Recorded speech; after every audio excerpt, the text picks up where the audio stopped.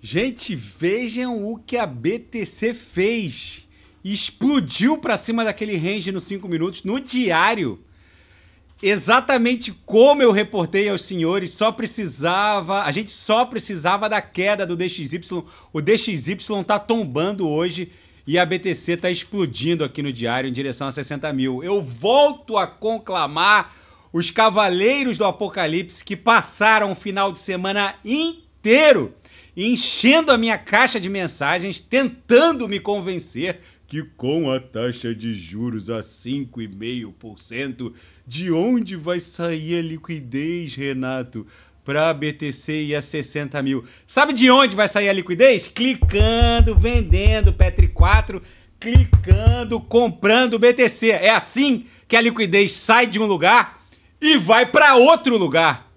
Gente, se é para jogar dinheiro no lixo, como esses cavaleiros do apocalipse estão fazendo, enchendo as burras de, de dinheiro do, do da Binance, alavancando 50 vezes no sentido short, justamente para serem liquidados, se é para jogar dinheiro no lixo dessa maneira, joga no lixo aqui de casa. Gente, a BTC não vai descansar enquanto não bater 60 mil. Depois vai fazer um pullback de 60 para 56, 55. Os cavaleiros vão voltar cheio de mimimi.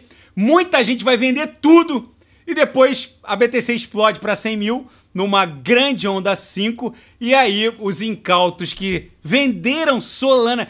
Tem gente que vendeu. Teve, tem um seguidor aqui que vendeu mais de 15 mil dólares de Atom achando que ela, que ela fosse perder os 10 dólares, pode voltar agora pagando 10,94. A Atom chegou a perder os 10 dólares nessa última agulhada da BTC, mas agora, na minha leitura, a Atom só vai descansar no patamar de 13 dólares. Daqui a pouco eu volto, vou fazer Polkadot Kusama, é outra que está explodindo, a Kusama daqui a pouco voa para cima de 50 dólares. Na verdade, a Kusama vai encontrar 60 dólares na resistência a Vax explodindo, VET subindo 10%. E quem quiser sugerir, é só colocar nas mensagens abaixo. Grande abraço, até daqui a pouco.